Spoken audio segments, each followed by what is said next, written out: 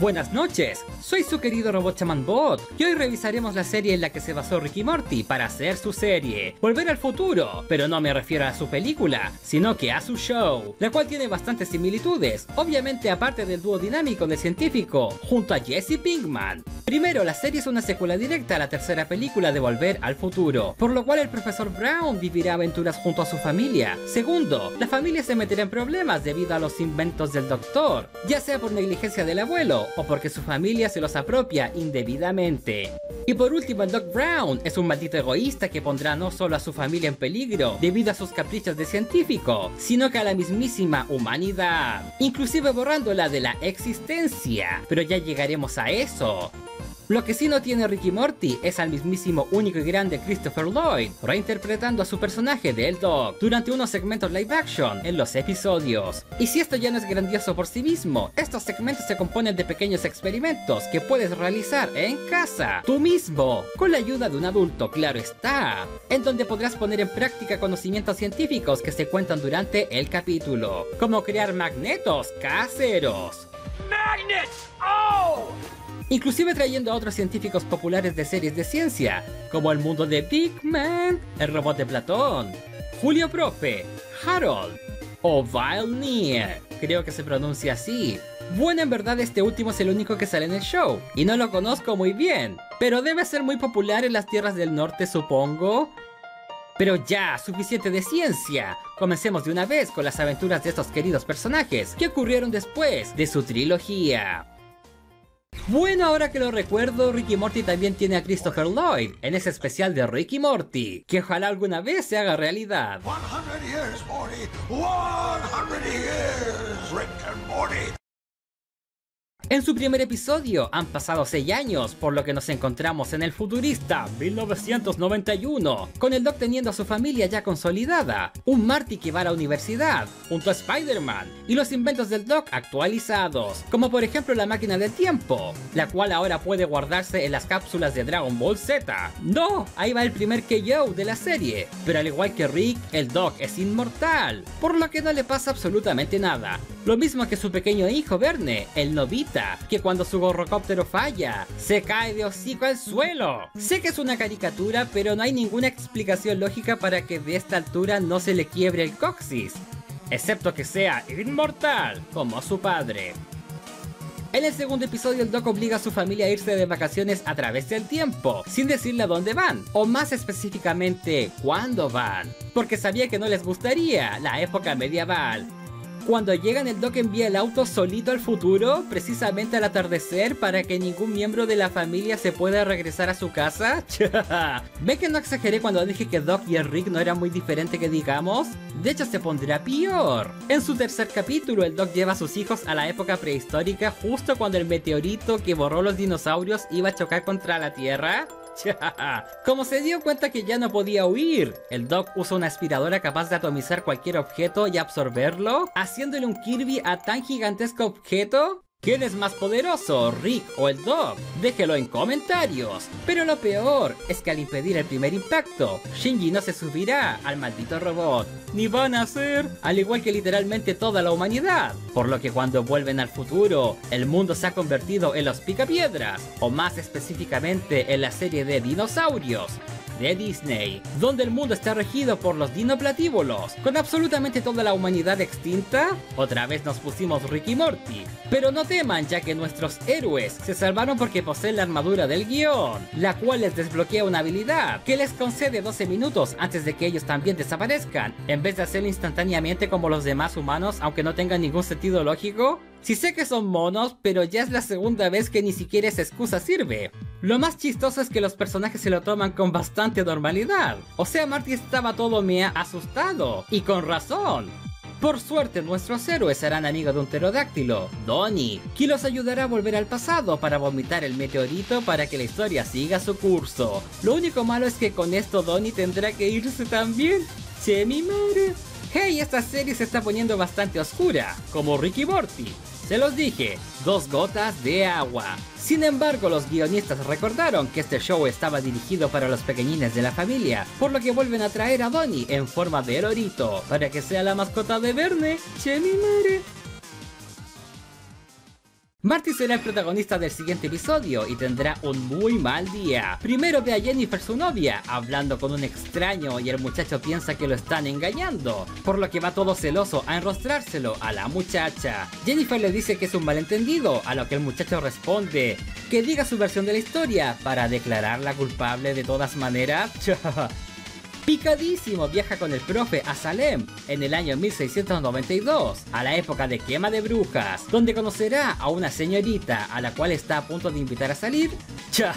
¡Qué rápido! ¡Qué rápido olvida! ¡Olvidón!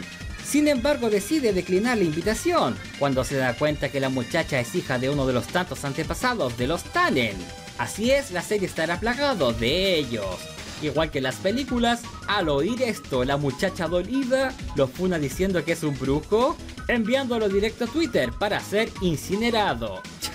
la primera funa, aunque nuevamente los guionistas recuerdan el público objetivo de la serie, por lo cual la condena del muchacho será más suave, ahogarlo con unas cadenas en las patas. Si el muchacho sobrevive es porque es un brujo, pero si no, es porque era inocente. Pero qué buen sistema, sin fallas. La muchacha al ver que ya no salió, reconoce que solo dijo que era un brujo porque la rechazó, cha.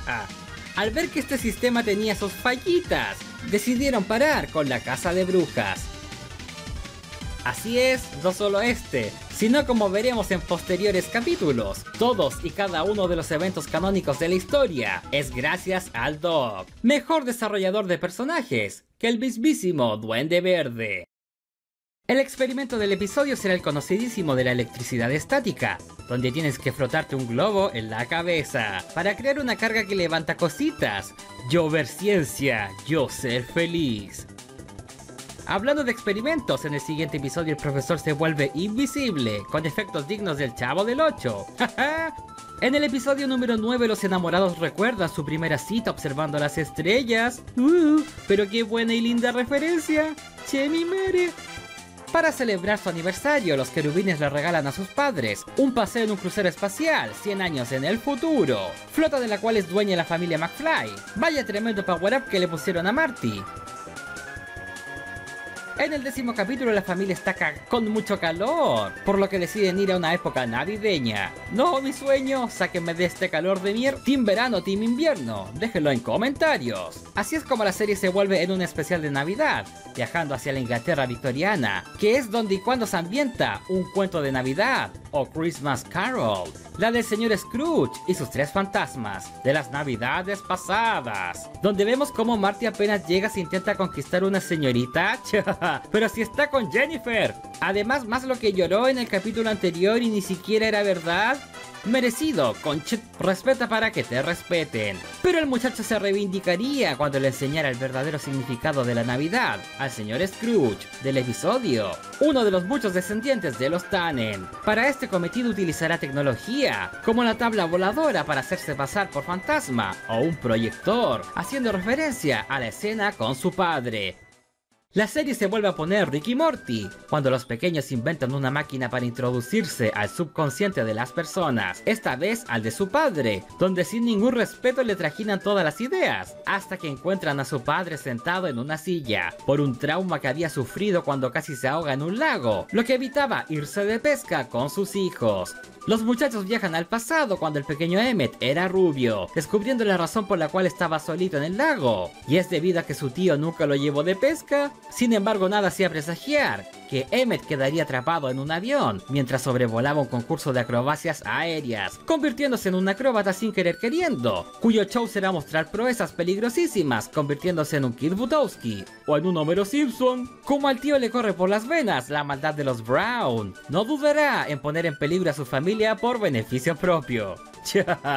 arriesgando la integridad de su sobrino en esos peligrosos actos para hacerse millonario. Puros Rick en la familia, pero eso no es lo peor, no, no, no, no, no, no, ya que ahora que el Doc es famoso, nunca se convertirá en inventor, por lo cual los chicos nunca nacerán. Ya es como la quinta vez que los personajes ponen en peligro su existencia misma.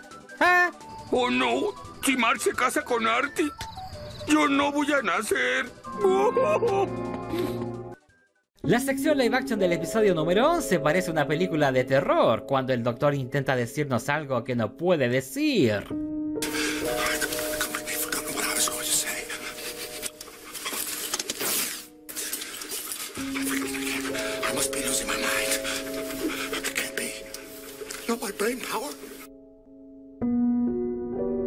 Lo que ocurre es que el Doc utiliza tanto su materia gris que se quedó sin poder cerebral, por lo cual se le achicó el encéfalo. Esto lo supo gracias a una máquina que mide la actividad científica de su cerebro, la cual revelaba que cerebro literalmente el meme, ¿ja? Como ya no podía ser científico, decide no volverse una carga para su familia, retirándose de su hogar, ahora conviviendo con los suyos, los cerebrons de los cavernícolas. Lo que el profe no sabía es que su familia lo apoyaría tanto en las buenas como en las malas. No importaba que ya no pudiese inventar, lo querían tal y como es, apoyándolo hasta que se recuperase. Che, mi. Vaya se puso triste esta. Sobre todo porque los pequeños reconocen que el lector de cerebros había sido alterado para que arrojase resultados falsos. Yo no haría enojar a un padre que tiene una máquina del tiempo en el final de la primera temporada, los muchachos viajan al pasado a conocer a la mamá de Clara, Marta, su abuela. ¿Quién se enamora de Marty? No, está pasando otra vez. ¿Se va a convertir en su propio abuelo? Oye, ¿sabes qué es lo que siempre te anima? Hornearme unas galletas de azúcar. ¿Qué tal estas galletas? Azúcar. No, de veras que Marty no es familia de los muchachos. Bueno es que me quedaron traumas de las películas. Sin embargo, lo que sí es preocupante es que producto de que la abuela se enamoró de Marty, significa que nunca se enamoró del padre de Clara. Por lo que no nacerá, ni nacerán sus hijos, borrándose de la existencia de nuevo. Esta ya es como la vez. Ni Rick se atrevió a tanto. Aunque hablando de paradojas temporales, ¿acaso el hecho de que Clara se salvase la tercera película no significaría que provocó un efecto mariposa en donde muchas personas dejaron de existir? ¿Será ya ahora que el Dr. Emmett Brown restablezca la línea temporal, dejando que Clara desaparezca? Ah, pero miren cómo se ven bonitos juntos, unos enamorados por lo que se dirige a arreglar la caga el error que se mandaron sus hijos. Por suerte la abuela había parado sus arremetidas contra Marty, ya que había sido capturada por el Tannen de turno, el bacteria de Dragon Ball. El Doc aprovecha esto para rescatar a la abuela, con la ayuda de su esposo original,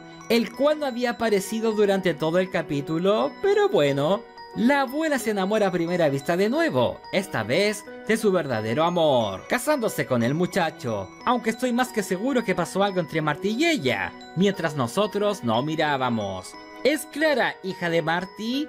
Déjalo en comentarios. No tengo pruebas, pero tampoco tengo dudas. ¡Eres tú!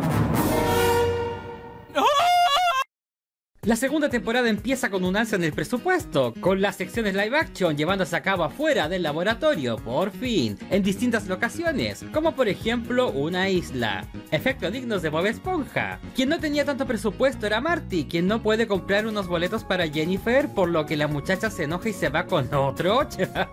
Creo que esta pareja es media tóxica entre sí. Con razón están así en Volver al Futuro 2, con los dos Marty como hijos.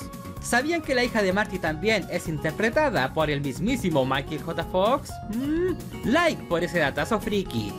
Sin embargo, el presupuesto para la serie seguiría subiendo cuando el Doc es enviado al mismísimo espacio para realizar sus experimentos. Uf, tecnología digna de la NASA. Aunque esta vez sí que me puse algo pesado, ya que le salió bastante bien para hacer algo artesanal. Además, miren todo el amor que le pone Christopher Lloyd en su interpretación. Puntito para todos en el programa. En el tercer capítulo de la segunda temporada tenemos el capítulo de la playa, en donde el Dr. Emmett Brown... Espera, espera, espera. ¿Esta serie no era sobre volver al futuro? La serie animada. Bueno, pues volvamos a la serie, porque por fin aparece el Tannen original, no uno de sus antepasados, sino que el enemigo del padre de Marty, el que recibió tremendo Falcon Punch, quien tiene un hijo llamado Junior, un clásico en el cliché para nombrar hijos. Este ha encontrado un documento donde un antepasado de Beef es el dueño del rancho de los padres de Jennifer.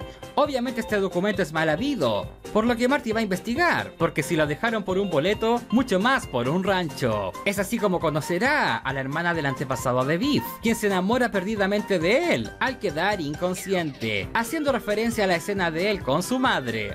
Viéndola en retrospectiva, esta película es bastante turbina. Por suerte, esta nueva conquista no estaba emparentada con él. Un galán, el Marty. Mientras tanto, en el próximo capítulo, el Doc se va de parranda a una fiesta de los años 20. Pero mira cómo baila el abuelo. Y estos pasos prohibidos son gracias a sus zapatos de baile, los mismos que necesita Verne para graduarse con honores de sus clases de baile. Lo malo es que el Dog necesita los planos para fabricarle a Verne unos zapatos de su talla. Lamentablemente Emmet dejó los planos en una casa que vivía cuando era joven, por lo cual la única manera de recuperarlos es volver al pasado. Pero el Dog le prohíbe tajantemente a Verne hacer semejante cosa tan peligrosa, ya que conocer a su padre de joven podría alterar la tela del tiempo mismo, por lo que nunca va a poder nacer. Ah, por fin se dio cuenta. Pero quien no se dio cuenta fue el hijo. Deshereden a ese mocoso. De hecho, toda esta familia merece desaparecer. Incluyendo a Marty, quien lo acompaña sin poner ningún pero. Más encima se vuelve a enamorar. ¿Pero qué es esto? ¿Que ningún personaje tiene ética en esta serie? Pero ¿saben lo que sí es bueno? Es que el experimento de este episodio consiste en mostrar el centro de balance de un cuerpo, aprovechando de que el baile se trata de eso, mantener el balance de tu cuerpo mientras sacas los pasos prohibidos. Oh, yo ser feliz. Bueno, volvamos a la serie, donde Verne seguiría siendo un peligro tanto para la familia como para la humanidad. Cuando lleva un amigo a 1933 a ver un circo, le reveló el secreto de la máquina del tiempo a un perfecto desconocido, arriesgando que la existencia del invento se propague a través del mundo, creando batallas campales colosales entre distintos bandos para adjudicarse el DeLorean, desembocando todo en el fin del mundo. Emmett y su descendencia se volvió más peligroso que cualquier personaje de Ricky Morty.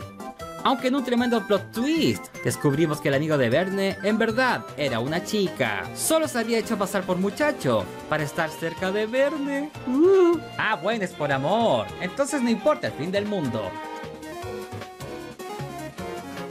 En el siguiente episodio tenemos al Doc jugando Mario Kart.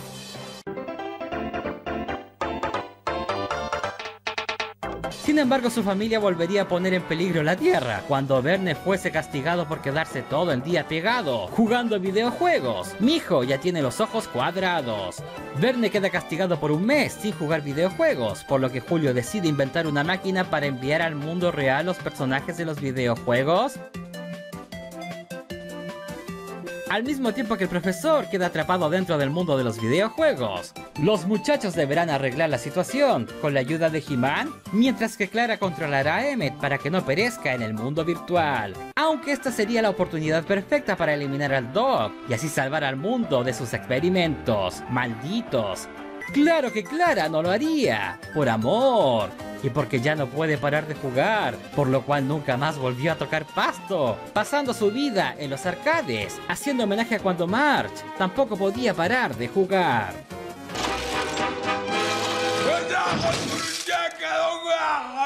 Le rompiste una promesa a tu hija. ¿Qué? Mientras que el profe se cambió de jugar Mario Kart a Star Fox.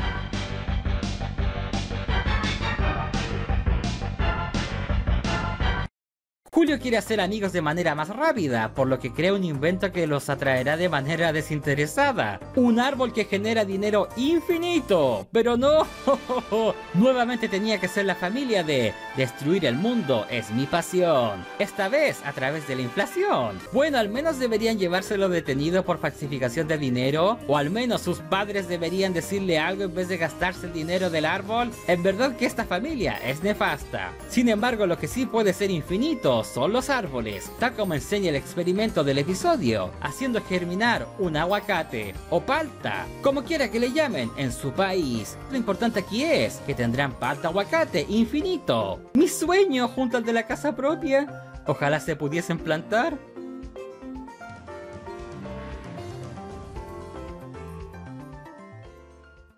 Como recordarán de la tercera película, los hijos del profesor recibieron sus nombres del famoso escritor Julio Verne, el mismo autor del que hablaban Clara y Emmett en su primera cita.